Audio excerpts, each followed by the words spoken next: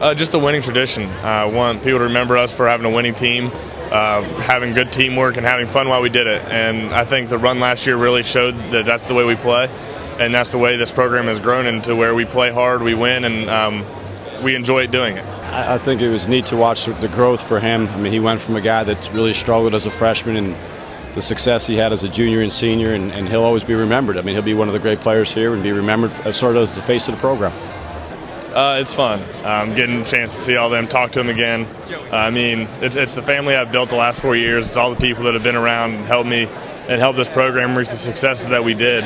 Uh, so it's going to be a lot of fun. Uh, a little difficult that it's my last one, but still trying to live up and enjoy the moment. I'm definitely going to miss Chase a lot. Chase been here since I've been here, since my freshman year.